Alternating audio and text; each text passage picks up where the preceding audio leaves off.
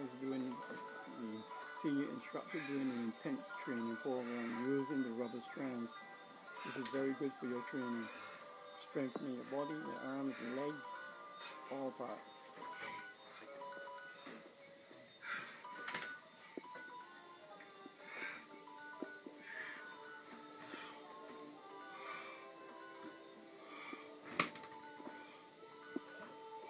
Good.